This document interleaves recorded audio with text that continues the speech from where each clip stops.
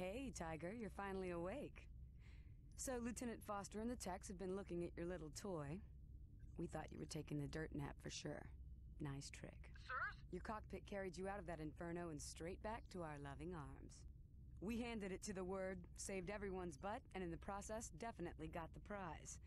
The other Dragoons are still down there mopping up the remaining fanatics. Most of them started running after you 86 their commander.